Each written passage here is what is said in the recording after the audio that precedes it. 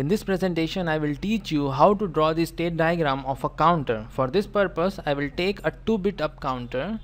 I will take a 2 bit up counter and uh, let's see what we have in this 2 bit up counter. This 2 bit is nothing but the output of the flip-flop. And as it is 2 bit I have to use two flip-flops whether it to be a JK flip-flop or a T flip-flop.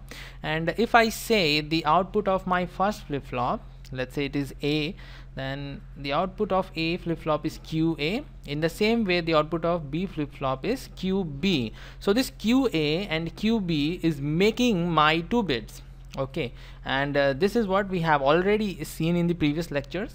Now as it is up counter it will start counting from 0 0 and end counting at the maximum count. Now what is the maximum count for a 2 bit up counter? We can easily find out by a formula that I have already explained you in the uh, last presentations. So let me find out the maximum count for this 2 bit up counter and it is equal to 2 to the power n minus 1 now this n is nothing but the number of bits uh, or you can say it is the number of flip-flops being used. So the maximum count for my 2 bit up counter is 2 to the power 2 minus 1 2 to the power 2 is definitely 4 and then minus 1 finally we have 3 so 3 is the maximum count for a 2 bit up counter and the binary equivalent for 3 is definitely 1 1 so my counter will count from 0 0 to 0 1 then 1 0 and finally 1 1 and if it is a down counter it will count from 1 1 and end counting at 0 0 if it is a down counter and as it is a up counter it will count from 0 0 and end at 1 1 so I think it is clear to you. Now we will move to the state diagram. So what are the states? We have to first find out. The states are nothing but the counts of my counter. And the counts are 0 0 which is equivalent of 0 in decimal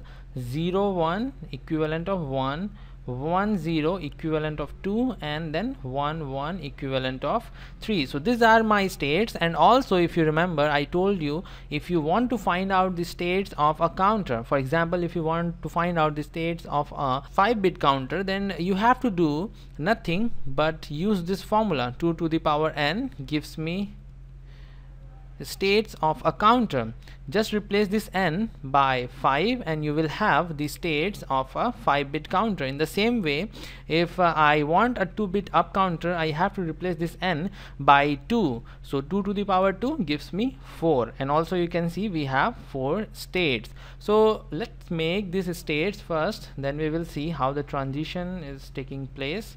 This is for first state second state third state and fourth state. The first state is 0 0 this 0 is QA this 0 is QB the outputs of my flip-flops. Then I have 0 1 1 0 and 1 1 and if I'm on 0 0 for the next clock pulse I will be on 0 1 so I have to show it by the arrow like this.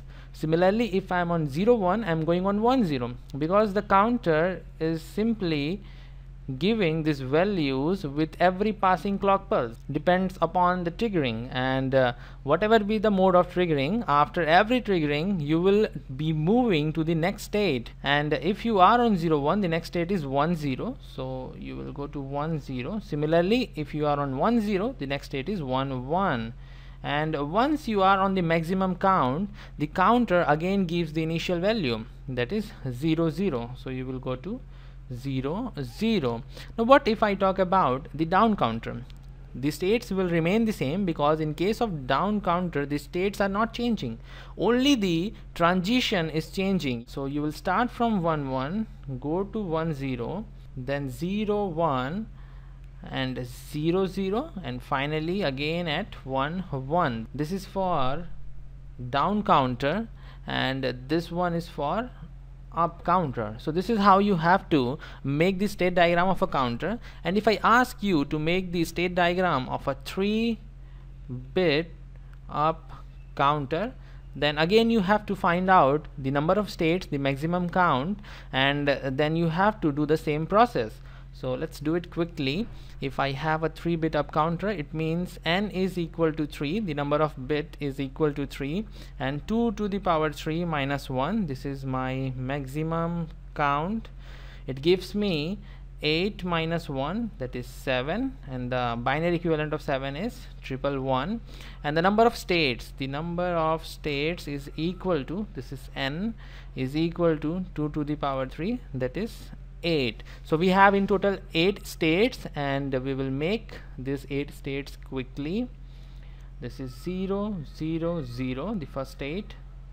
Then I have 0 0 1 0 1 0 0 1 1 1 0 0 1 0 1 then I have 1 1 0 and finally I have 1 1 1 so these are my 8 states and as it is uh, up counter definitely we will start from 0 and we will go to 0 0 1 and in the same way you can complete your state diagram by showing the transitions. The state diagram of counter is uh, not very tough thing to do but uh, definitely you have to remember these things so that you may not do any mistakes in in your exams because the state diagrams are very oftenly used if you talk about the competitive exams. That's why I have devoted a complete presentation on it so that you have a better understanding of the state diagrams in case of counters. So this is all for this presentation and if I want a down counter if this up is replaced by down then you have to just change the arrow. You have to start from a 1 1 1 then go to 1 1 0 and all the way back to 1 1 1 so this is what we have to do in case of down counters. This is all for this presentation. I will end it here